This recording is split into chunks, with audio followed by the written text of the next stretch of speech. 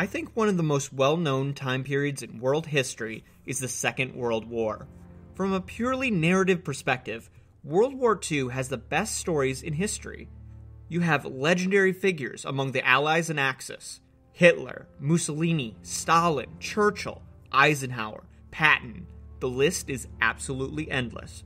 World War II is a classic battle of good and evil where the resolution is truly in doubt for most of the fight. There are staggering defeats, times where it seems like all hope is lost, before defining moments like D Day turn the tide of the war, eventually leading to the end of the fascist dictators and the freeing of oppressed people. Countless movies, video games, books, and all forms of entertainment still get made to this day, placing the setting in Nazi Germany or on the south coast of France. History, in contrast to the entertainment versions of World War II, are much muddier in terms of who is good and who is evil. In India, two months before the fight on the beaches of Normandy, a battle started that would decide the fate of Asia. A battle that, similar to D Day, would change the momentum against the invading Japanese army and ultimately lead to an independent and free India a few short years later. I'm Matt Dahlberg, and the Battle of Imphal and Kohima is a hidden gem of history.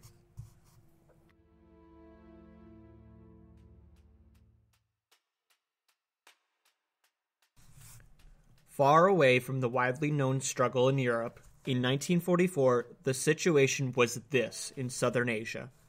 The Japanese had forced their way into Burma after previous victories in 1942. This pushed the British soldiers to withdraw west and take up defensive positions in India.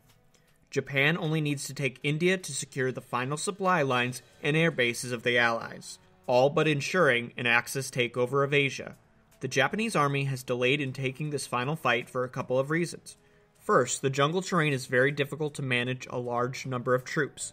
Second, if the battle is still going on in monsoon season, it will be impossible to reinforce or even supply the Japanese army with basic necessities like ammunition or rations for the soldiers.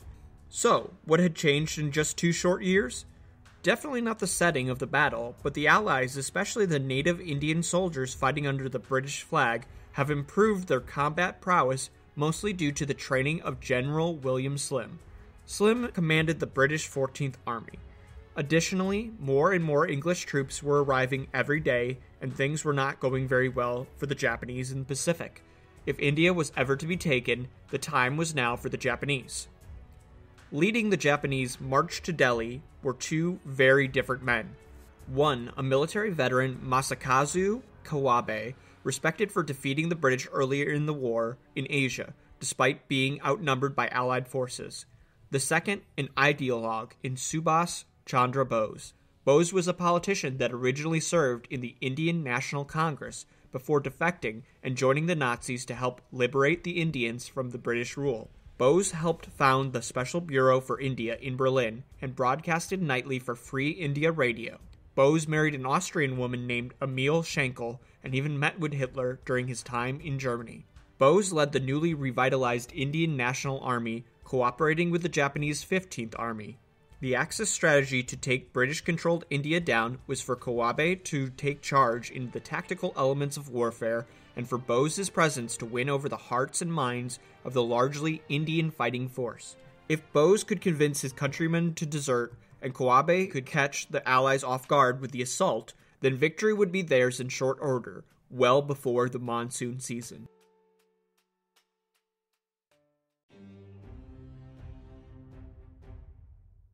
The Japanese soldiers were given a small window to complete their mission.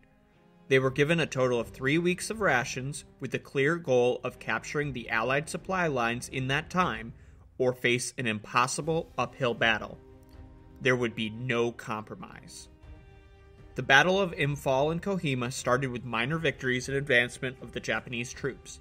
Japan was hoping to surprise the Allied forces, which they did, but were unable to wipe them out, only managing to push them further west. In Kohima, a large group of soldiers attempted to cut off the northern city, effectively isolating Imphal from any help from Kohima or any other British reinforcements or aid.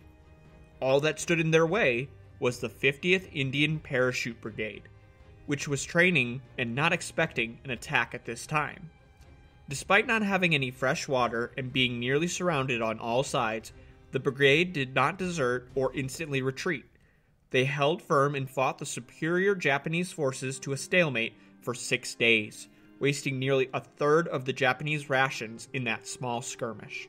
If you were to tell me to do anything active for more than 12 hours without any hydration, my body simply would have given up. The Indian forces, however, stood resolute and delayed until they withdrew and were eventually replaced by the full might of the British 14th Army. The Japanese gained the upper hand in both Kohima and Imphal, but it was short lived.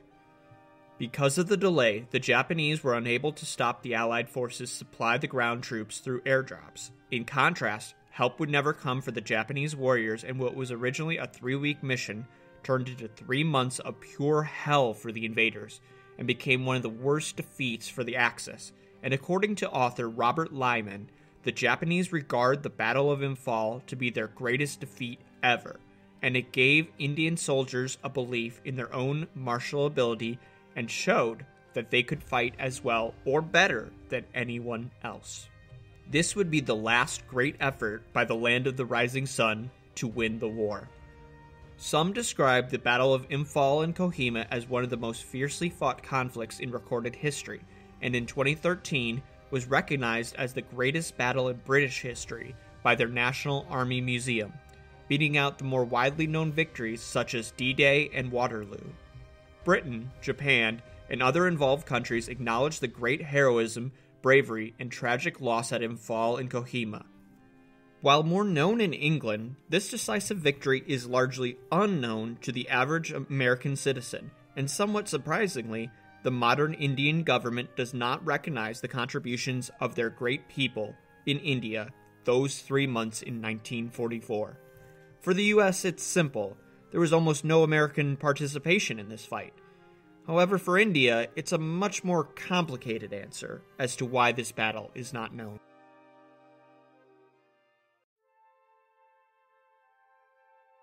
There were nearly 55,000 Japanese casualties, a staggering amount considering there were originally 150,000 troops at the beginning of the siege. However, most did not die due to gunshots, mortars, tanks, or bombs like in most battles of that time. Instead, the reason for most of the losses were starvation, exhaustion, and disease resulting from the lack of food provided to the soldiers. In contrast, the soldiers under the British command were treated very differently. While the Japanese and the Chandra Bose led Indian national armies were abandoned and left to rot by their leadership, the British forces, commanded by William Slim, made sure proper care was provided to all of his troops. If men were injured, he saw fit to have them airlifted if need be. Slim was very aware of how much of a role morale can play into war and did his part to keep his men motivated, ready, and alert.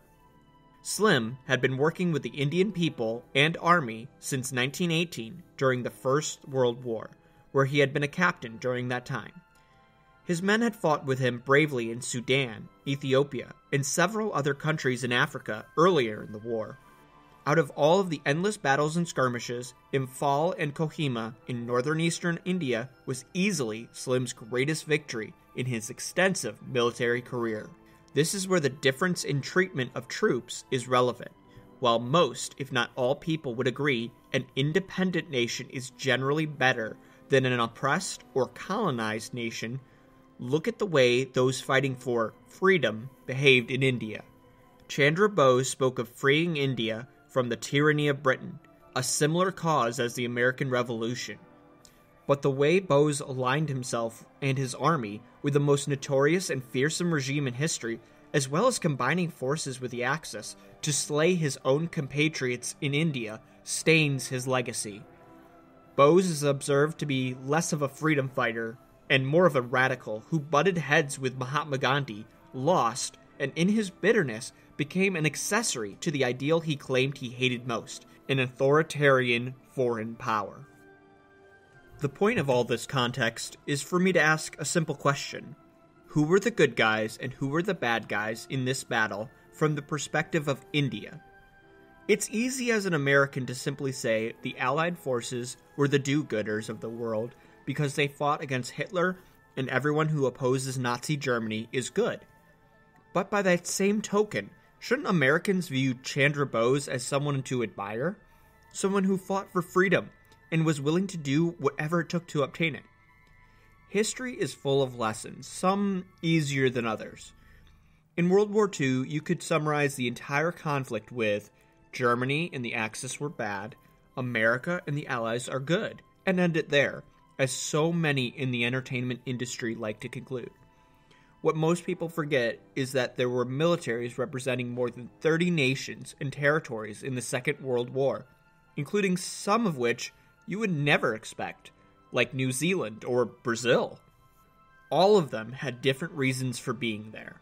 Some acted in self defense, others provoked and pillaged, and still others were ripped into a near civil war because of actions happening halfway across the planet.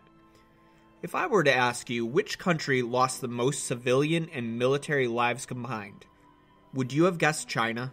China was more or less an innocent bystander at the start of the war, but historians estimate somewhere in the range of 20 to 50 million Chinese lost their lives mostly due to Japanese war crimes similar to those seen in Auschwitz or Buchenwald, thousands of miles away.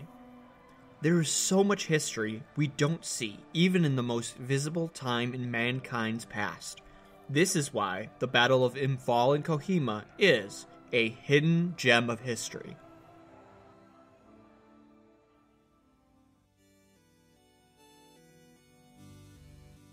If you have someone in mind who you think should be highlighted as a hidden gem of history, or just want to learn about an undervalued time in history, feel free to email the show at hiddengemsofhistory at gmail.com with your suggestion. Hidden Gems of History could not be made without the help of so many people. This episode, especially, could not be made without the History Guy.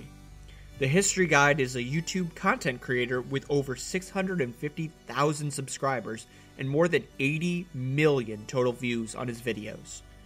The History Guy posts multiple videos a week and is a great choice for history buffs and students looking for homework help alike. Please support him with a like or subscription if you like content similar to this podcast. As always, I'm Matt Dahlberg, and this was Hidden Gems of History.